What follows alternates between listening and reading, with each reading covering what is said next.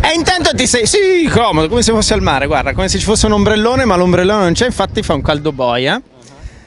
Soprattutto per te, però. Più per te che per me, perché hai sudato 25 giri per portarti a casa un eh, secondo posto in campionato anche. Sì, siamo venuti qua puntando la vittoria perché non eravamo messi male come punteggi. Eh, anche se dopo le qualifiche ti devo dire che per il terzo posto avrei fatto la firma perché partendo quattordicesimo non era, non era una gran cosa, diciamo.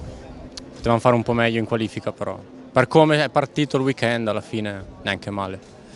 In eh, finale sei andato più forte alla fine che nelle fasi centrali, cioè abbiamo visto, sì, abbiamo visto i tempi, hai girato veramente forte nell'ultima parte, ti sei accorto di questo, No, te l'hai andato... sinceramente pensavo l'opposto. Il contrario. Mi sentivo a posto i primi giri, forse perché con Simo andavo un po' di più, poi ho perso un po', quindi il mio riferimento era lui, quindi quando ho visto che perdevo da lui Pensavi... pensavo di essere calato tanto.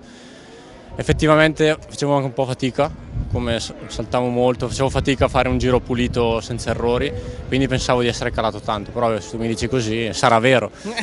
Me lo sono inventato. Però sì, come ti dico, come ti ho detto prima, pensavo peggio per come era partita, perché veramente eravamo in mezzo a una strada fino a venerdì sera, quindi prendiamola così e bicchiere mezzo pieno, dai.